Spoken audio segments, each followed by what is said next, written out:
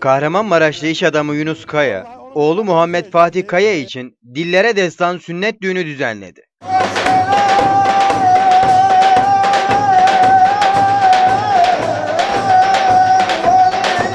Ramada Otel'de düzenlenen sünnet düğününde davetlileri kapıda mehter takımı hücum marşıyla karşıladı.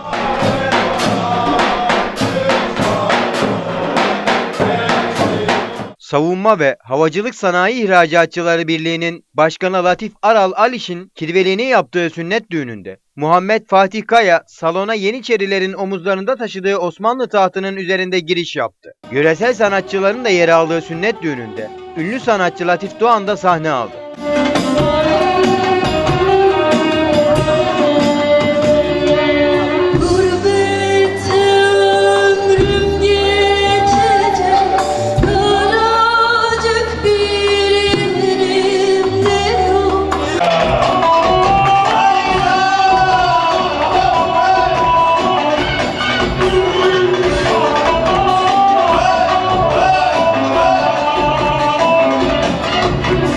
Latif Doğan seslendirdiği hareketli türkülerle davetlileri doyasıya eğlendirdi. Darısı inşallah evlendiği gün olur.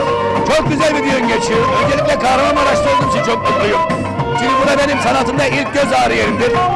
Burada olmak çok mutlu bir şey. Düğünde olmak çok güzel bir şey.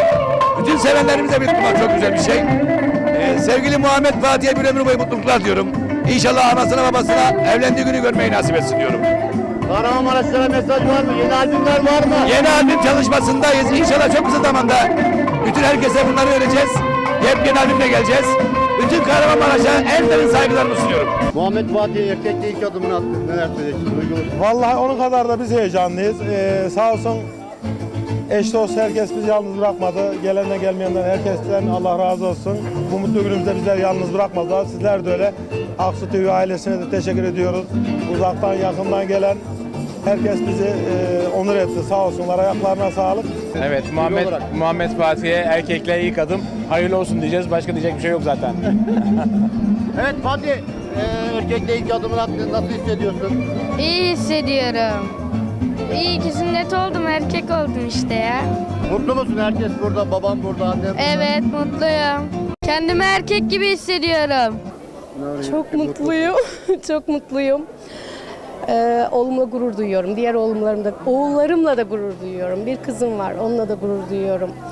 Ee, babaları çok iyi bir insan. Çocuklarıma çok güzel ilgileniyor. Teşekkür ediyorum kendisine her şey için. Türk Parlamenterler Birliği Genel Başkanı Nevzat Pakdil'in de yer aldığı sünnet düğünü sonunda davetlilere tesbih hediye edildi.